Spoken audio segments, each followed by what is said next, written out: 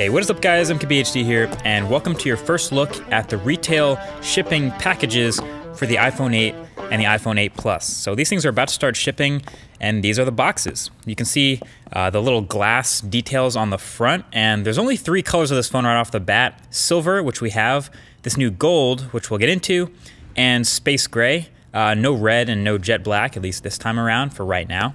But the small detail you may have noticed, uh, the box for this new gold colored iPhone, which I'll call it like a blush gold, is actually not white. It's an off-white, like the cream color on the back of the phone. So the more you know. But either way, let's dig into the iPhone 8 first. So it's a pure white box and you get your paperwork up top above the phone and then the iPhone itself. So pretty much identical to last year.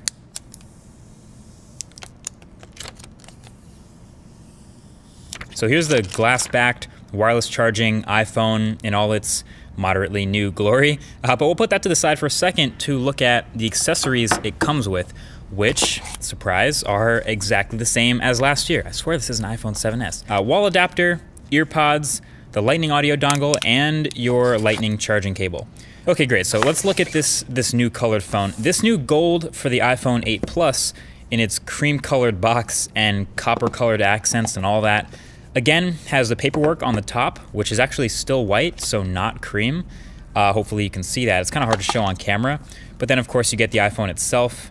White front again. Uh, both these lighter colored phones have the white front. Only the space gray iPhone 8 has the black front bezels.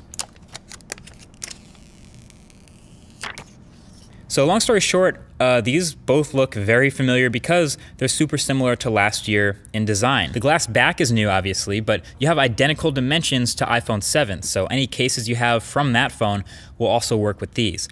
And most of the changes are on the inside in the spec bump. So let's fire this one up. I actually went through the setup process for iOS 11 and it was mostly the same with putting in my SIM card and signing into Wi-Fi and Apple's accounts and all stuff like that. The one thing that was new was True Tone. So you can choose now to turn right on the True Tone color display right out the box or not, which is pretty cool. Of course, you can always adjust that later. So I flew through everything, and once I finished, one of the first apps I wanted to take a look at, like last year, was Geekbench.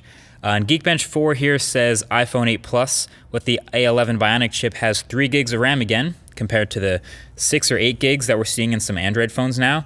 But we did that CPU benchmark, and it did pretty damn well, as you can see.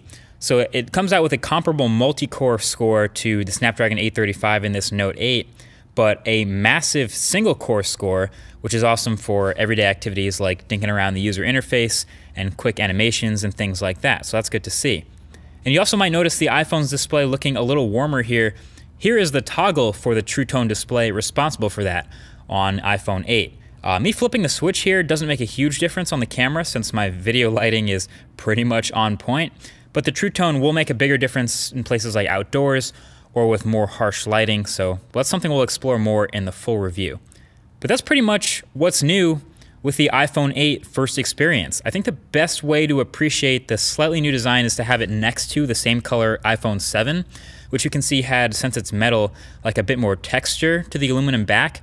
You can actually feel the cutout for the Apple logo, where on the iPhone 8, this new one, it's more under the glass, so you can't feel it by running your finger over it. And also there's no FCC markings on the bottom of the new iPhone, which is why it looks cleaner. And it's just a bit heavier feeling because glass is, after all, a heavier material than metal. But yeah, I guess what I'm really trying to figure out is, is this new gold a good color? I mean, I mentioned it in one of the previous videos. The gold kind of looks, I think pale in the middle is the word. The glass to me, it kind of looks a little bit light, like the rails on the side where it's still metal. I definitely kind of like that. It's a gold metal. The ring around the home button and the ring around the camera cutout, it's a new look. But then the middle of the back just looks so sandy. I don't know. I think I would stick with the silver or space gray on this one. But that's up to you. Let me know what you think. Full review is coming soon, and also iPhone 10 coverage when that's available. But until then, hit that subscribe button. Thank you for watching, and I'll talk to you guys in the next one. Peace.